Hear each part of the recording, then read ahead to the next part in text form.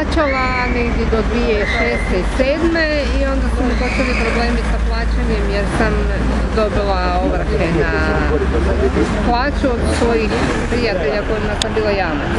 I onda sam mogla, morala jednostavno smanjiti plaćanje svojih rata i sve to je skupa krenulo sa uh, opomenama i sa obavijesti da će doći do ovrhe i onda sam bila kod njih gore i u Austriji, onda smo dogovarali kad smo manje uplaćivali, međutim oni su negdje 2008. sudski ovaj, napravili prodaju i prodali su kuću za nekakvih 50 tisuća eura, a ja sam kredit dobila 55 tisuća eura i da bi nakon toga ja ovoga, tražili da izađem iz kuće, ja nisam htjela, ja sam se sa odvjetnikom i tak dalje borila i još smo bili do 2012. u kući, ali onda smo se morali iseliti u sedmom mjesecu, evo sad je dvije godine. Ovdje smo svi zbog jednog interesa koji muči sve nas. A da da vam kažem. Recite. Strah je svaki dan kad ću izaći iz kuće, nema za život, nema ovo, nema ono. A oni, eto vidite, od našeg kruha, kojega mi krvavo zarađujemo, oni žive i oni ga jedu. A mi mrdi se kupimo. I dolazimo tu sa posuđenim novcima da bi kupio autobusnu, odnosno tramvajsku kartu da dođem ovdje i da stojim gladan i žedan, ne. Da li sam došao do toga u 53. godini svog života. Kao 100% invalid. Ima mirovine 1500 kuna. A režije dvije. A što se vama dogodilo? A, kredit isto tako uzela kredit koji je bilo nemoguće vraćati, a išli su na samo, na samo uzeti nekretninu, samo atraktivne nekretnine, ne pitajući, gospođo, odakle vam ta rata koju se zadužujete i koju mi vama dajemo. Tu smo se e, sastali, e, ne iz obijesti, nego od e, maltene iz straha čekajući svaki dan da nas izbaci iz kuća. Digavši kredite za koje su smatrali da su legalni, gdje smo založili svoje imanje, svoje kuće, ne znajući da je sve u, začetku da je bila prevara, da, su, da je bio komplot između javnih bilježnika, odvjetnika, pa i samog pravosuđa koje štiti taj kriminal. Naime, koliko je poznato, 95. 2006. su došli na područje Srednje Dalmacije ove zadruge, a cijelo vrijeme se to šutilo o tome. Ima nekoliko službeno potvrđenih suicida gdje su ljudi se nažalost, dizali ruke na sebe. Petero ljudi je počinilo suicid zbog ovih zadruga. to nikom ništa ne znači. Prije dvije godine mi je prijatelj e, išlo na intervenciju na uh, Kornate. U zadnji času čovjeka škapulali da nije diga ruku na sebe. Došli su vode samo E, da bi se pravda počela vršiti, e, da bi se istražni postupak prije došao do kraja, da se dokumenti koje Austrijsko državno tužiteljstvo traži da bi se kompletirao slučaj, da bi se digla optužba, želimo i tražimo da se ti dokumenti dostave državnom tužiteljstvu. I s tog razloga smo došli prvenstveno tu i danas na koncu konca mi smo građani Republike Hrvatske, došli smo pred instituciju koja treba štititi nas i od nje očekujemo da nas zaštiti. Isto Va, vama prijeti deložacija iz jedinog doma, ili? Da, da, iz moje iz jedinog doma prijeti deložacija. Za sada je to stavljeno, ne znam ni sam šta je, sutra mogu doći na kuću.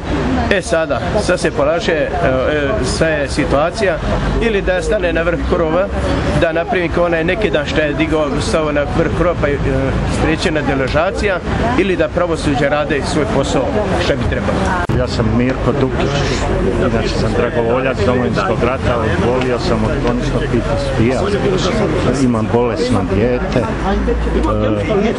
stan je, digao sam kredit od 40.000 eura, isplaćeno mi je 32, rečeno da će poslije da je to provizija i da će poslije godinu dana kad budem plaćao biti vraćeno, međutim nije ništa, poslije nisam više ni mogao vraćati kredit jer Hrvatska narodna banka nije odobrila, nisam mogao uplaćivati dao sam preko posrednika koji je organizirao taj kredit. E, poslije su me tražili kad više nisam mogao plaćati kredit, poslije me odvjetnica Šuster koja zastupa Raiffeisen banku tražila da otplatim cijeli dio, normalno nisam mogao, onda mi je nudili nagodbe da ostanem u stanu, da plaćam najamninu ili da plaćam jedan dio da se ponovo zadužim zadužnice, međutim to nisam I na kraju je... Na kraju stan prodan koji na sudskoj dražbi.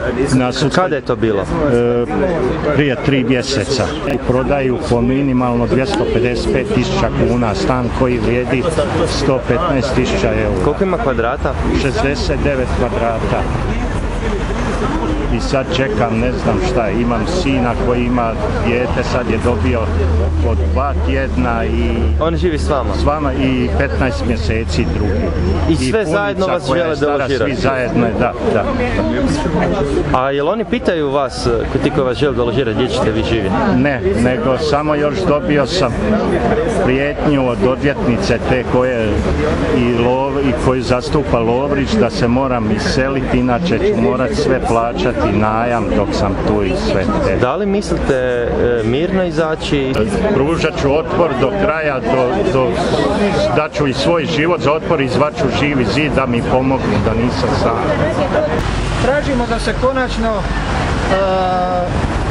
prestanu obmanjivati građani i tražimo da se jednostavno sustav u Hrvatskoj pravosudni ne svodi na nekakvu Lovrić, Menzel i tako dalje, nego da se jednostavno pozabavi ogromnom korupcijom i organiziranim kriminalom koji se odvija sada.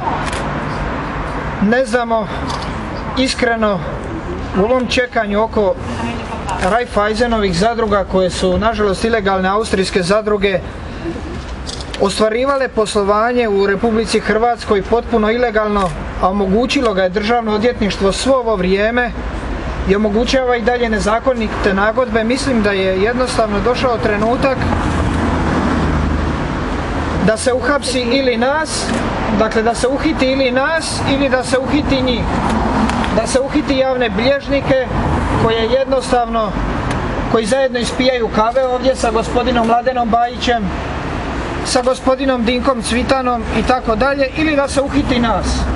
Jednostavno, mislim da nema dalje nikakvih razloga za bilo kakvim e, dijalozima. Ova država mora funkcionirati. Mi smo iz Europske središnje banke dobili određene materijalne dokaze i podatke da je Hrvatska narodna banka sa Hrvatskim državnim odvjetništvom znala od samog početka što se događa, da su austrijski krediti nelegalno plasirani na vrlo kriminalan način i da brojni građani uopće nisu znali što potpisuju. Javni bilježnici koji su zaštićeni od e, državnog odvjetništva, od hrvatskog pravosuđa i ministarstva pravosuđa su potpisivali ugovore i sa gospodinom Slavkom Linićem i sa nekoliko dosta utjecajnih ljudi pa sa Mladenom Bajićem isto tako to je koji se spominje u našoj kazanoj prijavi koja je protokolirana u državnom odvjetništvu Austrije to je gospodin Branko Jakić, e, gospođa Vesna Čuzela, prijateljica gospodina e, Slavka Linića, e, također gospodin Branko Jakić koji je potpisivao nekoliko ugovora iz vlade Republike Hrvatske da se jednostavno djelatnici državnog odjetnica, djelatnici državnog odjetništva koji su na kraju krajeva plaćeni po 20.000 kuna mjesečno ili nama daju te plaće ili da jednostavno nas uhapse i da nas riješe svega ovoga. Građani danas iz straha nisu došli ovdje jer većina se ljudi još boji, još nije došla do takve situacije da nažalost građani moraju e, ne samo da moraju izlaziti na ulicu nego svi jednostavno uvjerenja takvih da neće se pokrenuti ništa jer zaista situacija je takva da Austrija traži od Hrvatskog državnog odvjetništva da se nešto pokrene i dalje naravno to se konstantno ignorira od našeg državnog odvjetništva, mi smo ostali na dopisivanjima i tako dalje. To nema smisla. Mi smo nedavno evo sada poslali gospođi Vivian Reding jedan e, dopis konkretan da se jednostavno nešto pokrene.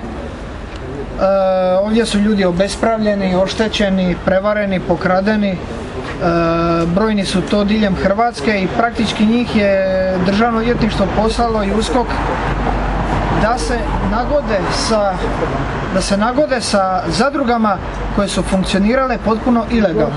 Dakle, sa kriminalcima da se nagode. E, to nema nikakvog smisla. Dakle, neki se trebaju nagoditi, neki ne moraju. E, no, istragu treba čekati. Državno odvjetništvo u Austriji također traži e,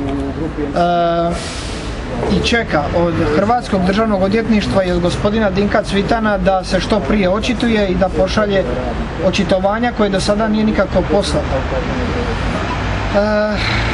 Ja sam razgovarao s nekoliko europskih parlamentaraca i uskoro ćemo iznositi tim putem jer u Hrvatskoj živimo u državi u kojoj se još uvijek postkomunističkoj zemlji u kojoj se ljude zatvara na psihijatrije, u zatvore i tako dalje. Pa ja želim javno da se ovim putem nema nikakvih problema da nas ili procesuira ili da se konkretno neke stvari počnu događati.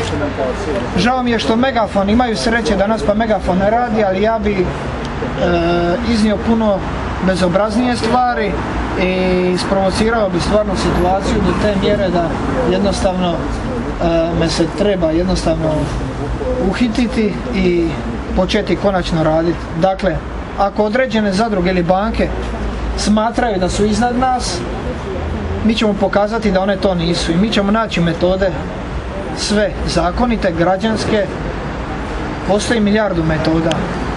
Ako ja trebam ne znam što učiniti da bi jednostavno ili bilo ko od nas da bi ostvarili jedan pravedan cilj osnovni a to je cilj ostvarivanja građanskih prava i da pravna država funkcionira i da se pravna država ne svodi na nekakvu lovričku oko koje se vrti već mjesecima i godinama jedna te ista priča dok Kalmete i Slavko Linić još za ništa nisu odgovarali dok HMB za ništa ne odgovara gospodin Rohatinski i dok određeni lobby poput e, gospodina Borisa Lalovca kojeg ćemo sad isto tako posjetiti ovaj, ovdje iz bivše Raiffeisen banke ne počnu jednostavno raditi svoj posao.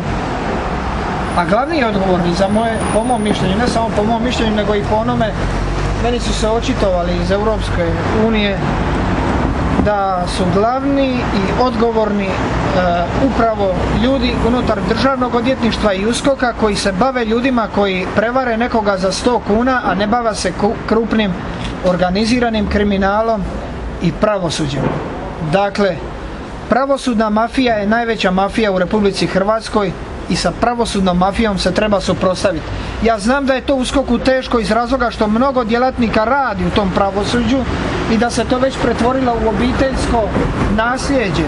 Ali mi ćemo tome morati stati na kraj e, svim mogućim